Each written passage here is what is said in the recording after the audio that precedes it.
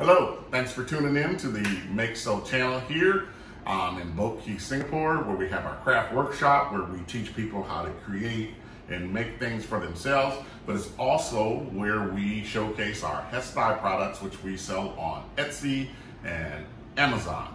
And today we're doing a short uh, demo that we, we call them demos, we don't really call them tutorials. We're doing a short demo that's really gonna focus on our Cool Touch cooling block. We've been getting a lot of questions about the Cool Touch cooling block, and so we wanted to do a video that kind of really focused on the Cool Touch cooling block. And the one thing that uh, it focuses on is this flock shirt here. Um, we're gonna make this flock shirt with you.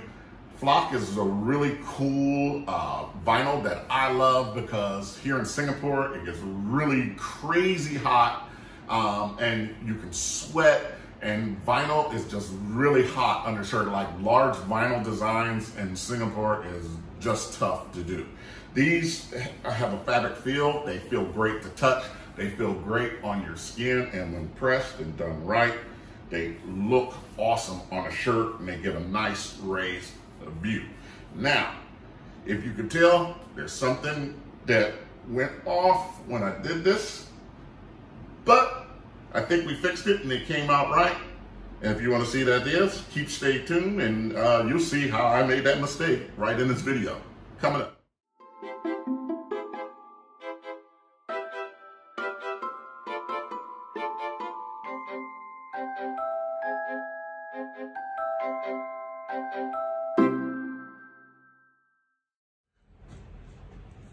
Okay, welcome back to the uh, overhead view. Today, we have our beautiful bright red shirt laid out in front of us. And um, like I said in the intro, today we are gonna be featuring our Cool Touch cooling block um, because we get a lot of questions on the cooling block, um, a lot of interest on the cooling block. So we wanted to do kind of an exclusive demo on just talking about the cooling block uh, part of it so we could focus on that, maybe answer some of the questions that we normally get um, uh, with it. I am holding it upside down, very sorry. And so this one is going to be all about the cooling block today. Um, before we get into it today, we uh, we want to talk about um, our cooling block and our cool and our Easy Tees. I want to make sure that um, you get them from just our Amazon shop our Etsy shop, or our website because we've been getting a lot of people letting us know on the YouTube comments and even on our Facebook uh, page that people are using our photos and our pictures um, and, and representing our guides, which are big, beautiful, double printed guides, but then are selling you a etched, cheap, thin, you know, one eighth of an inch guide and we even have people come back to our site saying, hey, you sent me the wrong guide. It's nothing look it looks nothing like the one you sent me. And then after investigation, we go find out that they didn't really buy the guide from us. They bought it from somebody that was presenting themselves as us and then selling them something else. So we just want you to be very careful for that because those people who are doing that, um, we try to shut them down as much as we can. We ask them to stop. Usually they don't stop, and then we go to their IP, and we've had a couple people's uh, sites uh, shut down from doing it. And the reason we do that is, is because it's unfair to us a bit, but it's unfair to the consumer mostly, you guys as well. Because if you go and you see this guide and you say, wow, I want that nice, thick, true easy tee guy with the logo. always look for the logo, but you want it that lays flat and slides smooth and you can actually view it on this side, or if you want to, you can flip it over and view it on the other side. All of this uh, functionality that you want to bring and you say, yes, I make a decision, I want that. And then you purchase it from somebody who has rep represented themselves as this, but send you something else that can be devastating and frustrating for everybody. And we don't want that for our customers. That's why we really pursue this because we don't want our customers out there getting tricked and we think it's unfair to you. So with that said, we're going to leave it at that. We're going to go on to happier things and get right into our um, process here, our demo. So today we will be putting on a flock design my Mixo Tiger design, kind of Japanese graphic feel to it. I like it a lot.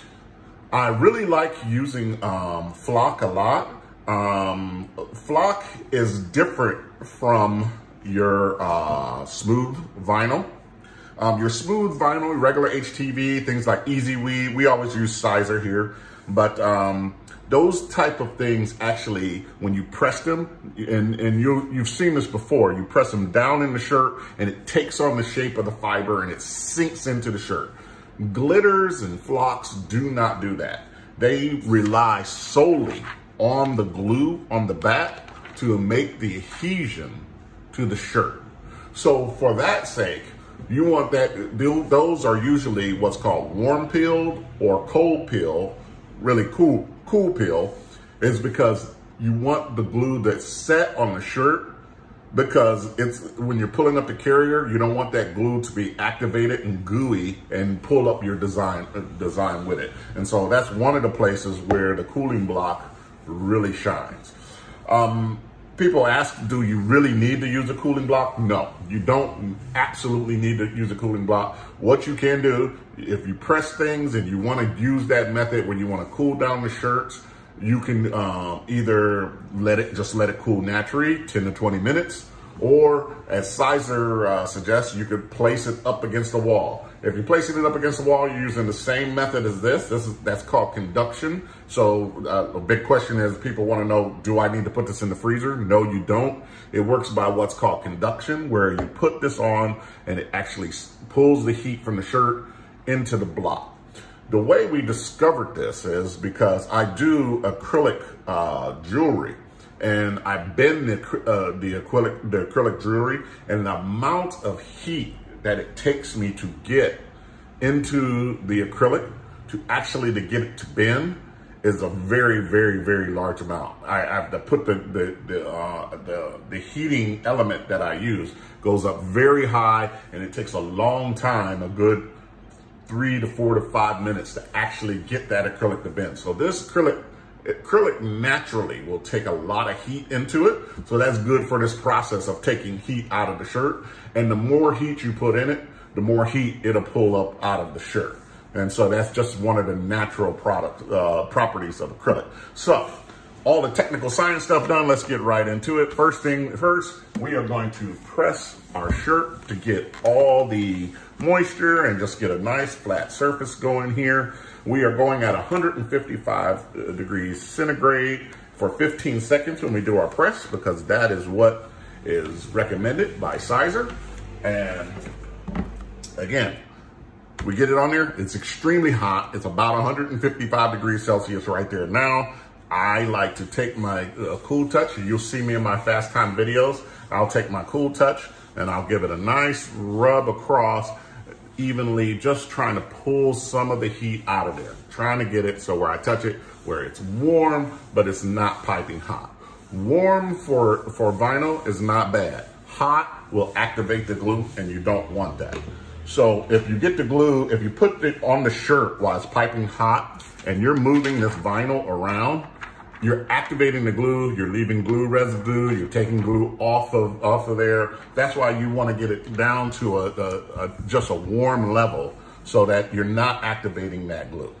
So we will bring our beautiful Maximus because this shirt is a 2X and it's for me and uh, we'll lay it on there. As you see with the Maximus, we can go with the color side. I can see it perfectly fine. Or on a color, if this was a black shirt, we could go with the white side and you could see it perfectly fine there too. So that's one of the things that you only get on the Easy Tees, on all Easy Tees is the full uh, color white reversible print, which is made so that you can reverse the Easy Tee and um, in either way.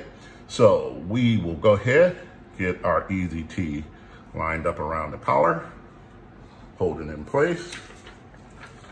We will bring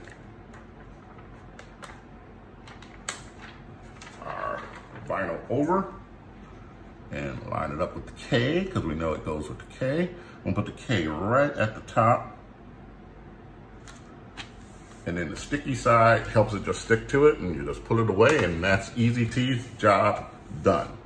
Now, from there, if we needed to make any adjustments and movements or anything like that, um, our shirt is cool, so we don't have to worry about it leaving any residues or anything like that. But we don't need to make any adjustments because we use the Easy Tee, and we'll go ahead and get our press on there. So this one is a medium press.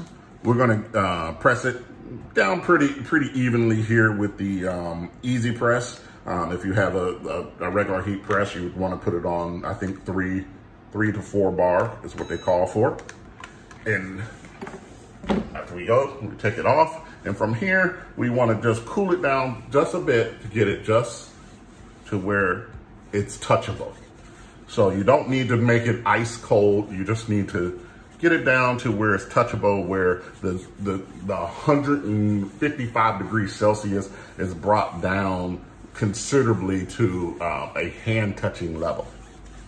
After we get it down to a hand touching level, this flock um, grabs back on the carrier. And so that's one reason why you want it to be cured and nice. So you need to carefully pull flock off. And this is probably a real testament to how this works because these little bits and pieces are very tough to do.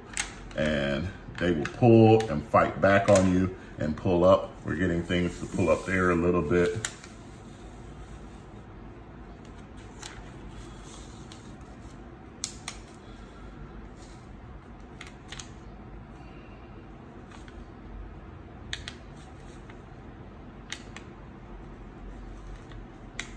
As you see, these little letters are all gonna be difficult, but you'll have to give them some help when you pull them or they will want to pull up on you. As we go through this process, uh, the G totally came up.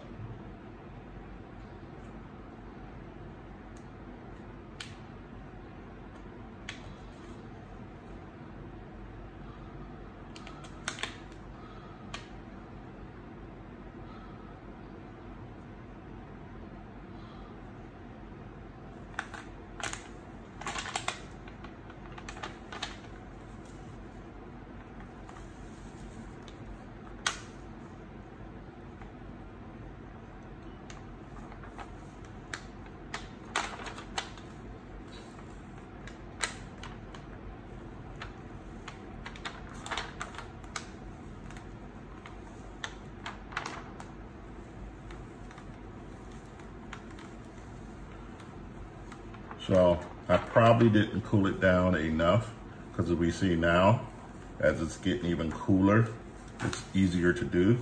And that G just came up all the way. That's the great thing about heat transfer vinyl though, is that it's forgiving. We can just take that G and we're gonna replace it where it did.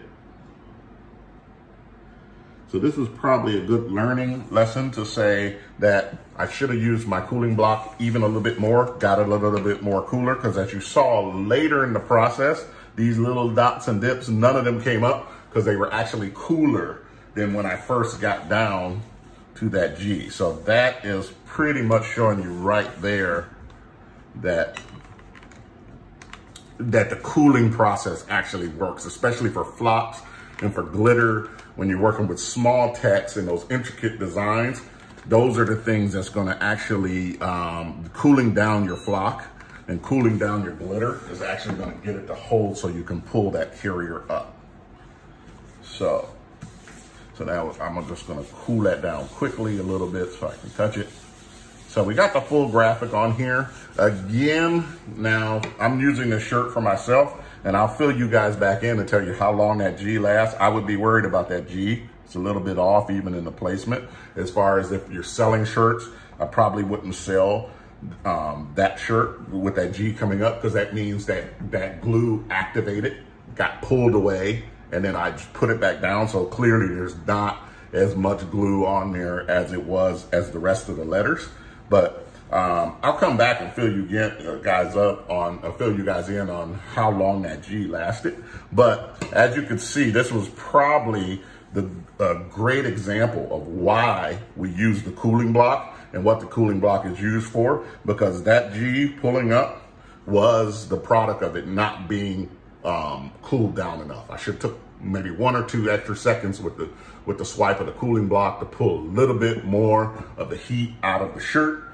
Because um, as you saw, these little bits, the little teeth and all of that did fine because they had a more chance to cool just while, while they were sitting there.